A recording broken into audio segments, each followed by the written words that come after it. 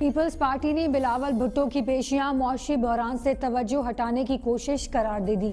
Party رہنماؤں کا media سے بات کرتے ہوئے کہنا تھا کہ نیب کو اس کی مرضی کے جواب نہیں دے سکتے۔ سوال نہیں، یہ کسی کی خواہشات ہیں۔ دس دفعہ پوچھیں، جواب ایک ہی ہوگا۔ حکومت کا جانا ٹہر چکا ہے، اب تو اتحادی بھی انہیں آہستہ آہستہ چھوڑ رہے ہیں۔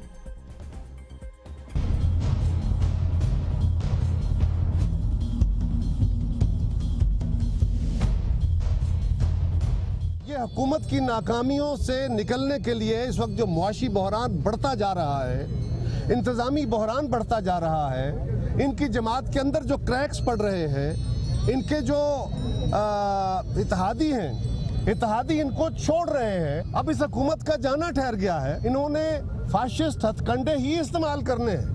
ان کے پاس اور کوئی راستہ نہیں ہے۔ یہ تشدد کا راستہ اختیار کریں گے۔ یہ عدالتوں میں جیلی کیس ڈالیں گے۔ آج آپ سوشل میڈیا بند کرنا چاہتے ہیں جو آپ کا سب سے بڑا ہتھیار ہے۔ بار بار یہ تحریری جوابات آ چکے ہیں۔ پیشی بھی سے پیپلز پارٹی گھبراتی نہیں، عدالتوں کا ہمیشہ احترام کرتی ہے۔